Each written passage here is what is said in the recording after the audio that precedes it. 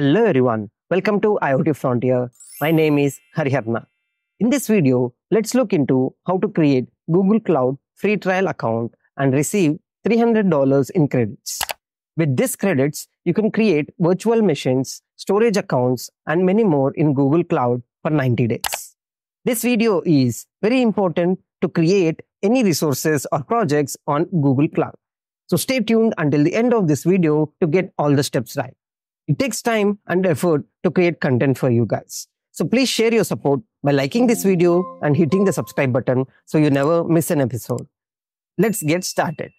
So first, navigate to the Google search and type Google Cloud free trial and immediately the first link you can click on it and you'll be redirected to this page.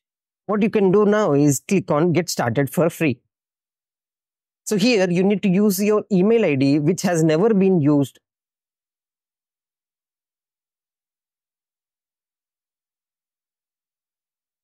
So it is asking two-step verification for me. So I have done that in my mobile phone.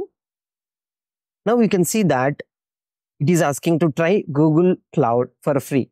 So here you can see $300 credit for free for the next 90 days.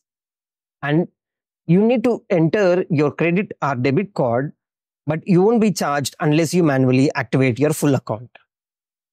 So click on agree and continue. So here my address is already taken. So I'll just have to create the payment method. So for you, you might have to enter the address. So I'll use credit card. Now I have entered the credit card details and it will charge 2 rupees.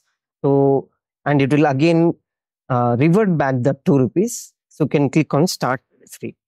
So you need to verify this uh, by finishing this transaction. Now it is asking me a few questions for which I'm trying to use. Like it is a, uh, like if it is for startup, small company or something like that, then I'll use select some of them and click on next. Now you can see that 0 out of 25,000 credits has been used, which means that your account is activated now and you can use this 25,000 rupees credits. And this activate full account is when your trial period ends, you have to do that so that whatever the services you're using, it will be charged via credit card. So right now you don't have to do anything. Now you can go to scroll below and see various products that you can create, which are like resources. So if you want to create a database, VM, or any containerized application, you can do that. Let us do a VM. So click on enable. Once that API is activated, you can get this homepage of Compute Engine. If not, you can go to homepage of Google Cloud and click on create VM. Then you will be getting this page where you can click on create instance.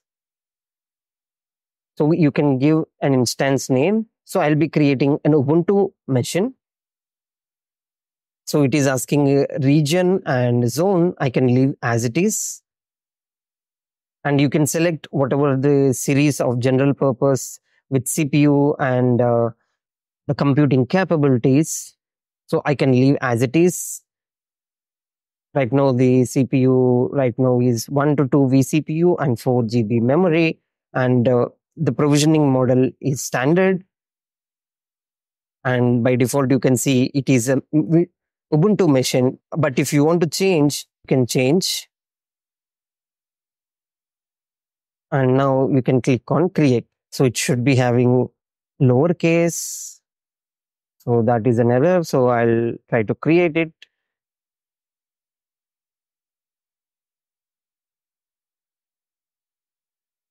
Now we can see that after 2 3 minutes the ubuntu machine is run now what I can do is I can SSH this. So click on this, it will automatically open SSH in the browser.